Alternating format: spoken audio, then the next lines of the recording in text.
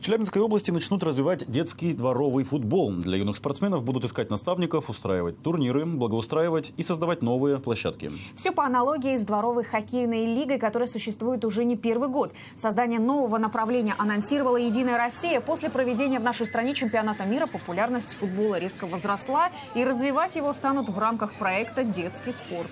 Сейчас регламент этого направления разрабатывается. Уже в ближайшее время мы его анонсируем э, в полном объеме.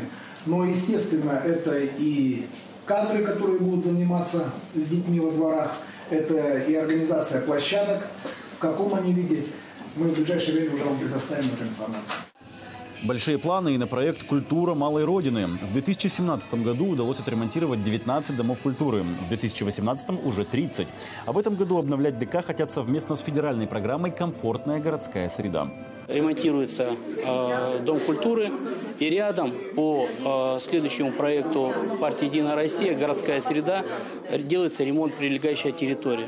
И мы видим комплексный подход, э, и люди на, на селе видят, что э, там, в год, в два их учреждение, дом, дом культуры или клуб преобразуется совершенно. В целом, реализацию партийных программ в регионе оценили как успешную и отметили, нужно вовлекать в проекты больше простых южноуральцев.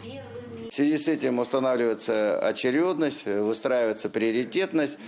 И э, надеюсь, что основные предложения, которые были высказаны избирателями и жителями области, они вошли во все проекты 2019 года. Всего в регионе сейчас реализуется 18 партийных проектов.